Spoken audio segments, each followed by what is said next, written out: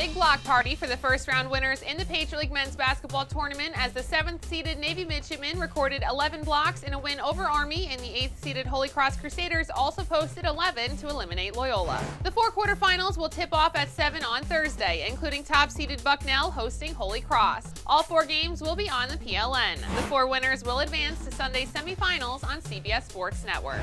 Navy entered Tuesday night's game having swept the Army Black Knights during the regular season, winning by 9 and 8 points in both victories. The first round rematch was much different and it came down to the wire. Navy's Will Kelly had five of his team high eight blocks in a back and forth first half that eventually saw Army pull away and take a 26-21 lead on Kyle Wilson's late three. Army's Tanner Plomb looked to push it out further, but Kelly's big rejection led to a Zach Fong fast break and the mids went into the half trailing 26-24. Navy used an 11-1 run capped by Tilman Dunbar's layup to take a 35-29 lead, and Brandon Venturini pushed it out to 41-32 midway through the second.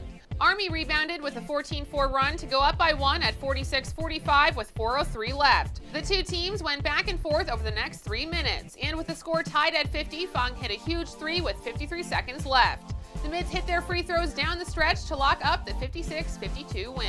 Yesterday at practice when people would drive and Till would, Till would look at me and go, look, if I get beat, like I'm not planning on beat, but if I just go get it. So Till and BV, I think it was six minutes into the game, BV said, if someone drives slow, we'll go get it. After he said that, I was like, I'm, I'm going for everyone now. So I know I always come down, so I try to just stay up, and if I don't get a piece of it, I'm just gonna make you take a hard shot.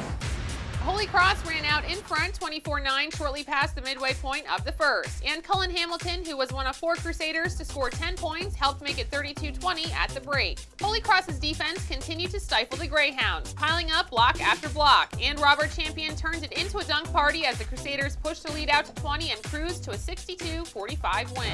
I thought we played like we relished the opportunity to have a home game. We obviously didn't think it maybe would be in this capacity, but you know you, you could tell we, we played hungry, which was great to see. We walk in the gym with a championship mindset. We're not going to win the championship if we come in thinking, oh, we got to play in game, oh, we got to play a number one seed, we're a lower seed. No, we're coming in thinking we're champions every day. So our mindset is high, and um, it's really starting to show in our play. And uh, as long as we keep that type of mindset and keep attacking aggressively, offensively and defensively, um, it'll be interesting to see what happens. For the complete schedule of events on the PLN, log on to PatriotLeague.tv. For the Patriot League Network, I'm Melanie Pulowski.